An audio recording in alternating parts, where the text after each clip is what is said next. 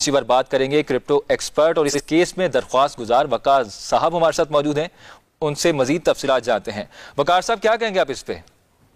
जी, सबसे पहले तो परेशान होने की ज़रूरत नहीं है किसी भी पाकिस्तानी क्रिप्टो में जो काम कर रहे हैं।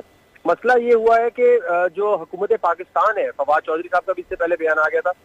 तीन साल से जो मैं केस लड़ रहा था कि जी, पाकिस्तान में पैसा लाने के लिए सबसे बेस्ट चीज़ ये है तो स्टेट बैंक ने आज अपना मौकफ दिया है कि हमारे साथ तीन महीने मीटिंग के बाद के नहीं जी, हम इसे रेगुलेट नहीं कर सकते और जितने फॉरेन एक्सचेंजेस यहाँ काम कर रहे हैं, बाहर के क्रिप्टो एक्सचेंजेस उनको पाबंदी के लिए पेज नंबर सत्रह पर इन्होंने बाकायदगी से लिखा जिससे पेनल्टीज भी लगेंगी जितने एक्सचेंजेस काम कर रहे हैं। लेकिन, क्योंकि मैं वहाँ दरखास्त गुजार के तौर पर मौजूद था और आर्टिकल 18 के तहत ट्रेड और जो मेरी राइट्स है वो नहीं खत्म की जा सकते तो पूरी कौम को मैं ये यकीन दिलाता हूँ कि क्रिप्टो बैन नहीं होगी, जैसे पबजी बैन नहीं होने थी बाकी चीज़ें नहीं होनी थी तो ये भी नहीं इंशाल्लाह बैन होगी।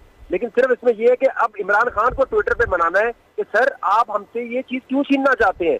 इमरान खान साहब और पीटीआई की हुकूमत, जो डिजिटल इकोनॉमी की बात करती है, कैसे हो सकता है? देखिए स्टेट बैंक ने मौकफ नहीं दिया, ये हुकूमत पाकिस्तान का मौकफ दिया है। इमरान खान साहब का मौकफ दिया है कि क्रिप्टो को बैन किया जाए। तो जिसने भी पीटीआई को वोट दिया है, अब सोच लो भाई किस डिजिटल पाकिस्तान की ये बात कर रहे हैं। अच्छा अच्छा बकार साहब ये भी कहिएगा कि आज सुप्रीम कोर्ट में जो कमेटी बनी थी आप उसका भी हिस्सा थे। कौन सा ऐसी कोई गलत बात हुई है क्या ऐसा इकदाम लिया गया जिसकी वजह से इस पे पाबंदी का ये दरख्वास्त की गई है? देखिए डाकिया कभी भी नहीं चाहेगा कि ईमेल मशहूर हो। इस तरह कोई भी बैंक का जो बंदा है वो नहीं चाहेगा कि क्रिप्टो करेंसी आए क्योंकि वो सूदी निज़ाम से एक तो जंग है सूदी निज़ाम की काट करती है बिटकॉइन और क्रिप्टो और दूसरा आपका मोबाइल आपका बैंक बन जाएगा।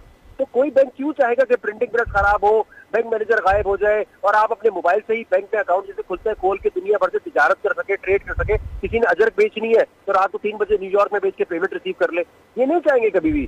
तो मकसद इसमें यह है कि मीटिंग तो हमने इनको यकीन दिलाया कि एनईडी यूनिवर्सिटी के डिपार्टमेंट से ब्लॉकचेन इंटेलिजेंस का पूरा हम इनको काम करके देते हैं। कोई मनी लॉन्ड्रिंग टेर फाइनेंसिंग की एलोकेट करके देते हैं आपको, जैसे चेन एनालिसिस करती है। उसकी हमने पूरी कंपनी टेनअप के नाम से बनाकर इनको प्रेजेंट की।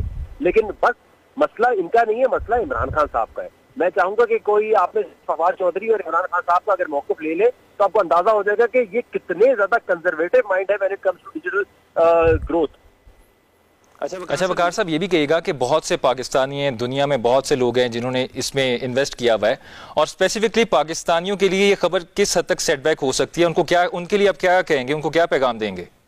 कोई उन्हें परेशान होने की ज़रूरत नहीं है। जब तक मैं मौजूद हूँ, मैं ज़िंदा हूँ, मुझे कहीं इधर उधर नहीं करते, मेरे ऊपर कोई झूठे अब देखिएगा, मुझ पर झूठे मुकदमे बनाए जाएँगे, ताकि यार वकार जगह को तो एक तरफ़ करो ना। आज मुझे ये भी बात बोली गई कि भाई, तुम इस केस में क्यों? तुमने काम कर रहे हो, तुम दुबई से करो, कहीं भी करो, तुम पाकिस्तान के अंदर ये केसेस पे इदारों को भी इसमें ला रहे हो। मैंने कहा, बात गलत है। बापर्दा खातन घर से बैठ के पैसे कमा सकती हैं, और अगर मैं एक सियासी जमात शुरू कर रहा हूँ टेक्नोलॉजी मूवमेंट पाकिस्तान तो एज अ चेयरमैन मेरा काम है कि सबसे पहले मैं कुछ कारकर्दगी करके दिखाऊँ। तो मैं कहा, सर, मैं तो नहीं पीछे हटता। उनके इरादे और वो लग रहे थे वही था कि बकार जगह को पहले एक तरफ़ किया जाए किसी तरह। कौम को बिल्कुल इस चीज़ में परेशानी नहीं होनी चाहिए कि किसी किस्म का भी पाबंदी लगेगी। यही वादा मैंने पबजी पे भी किया था। अभी भी हम कानून और आइन की रूह से लड़ रहे हैं और आइन की जंग लड़ते हुए बिल्कुल परेशानी नहीं होनी चाहिए। जी ठीक जी ठीक है। बहुत शुक्रिया वकार जका आप हमारे साथ मौजूद थे। और बुलेटिन में आगे बढ़े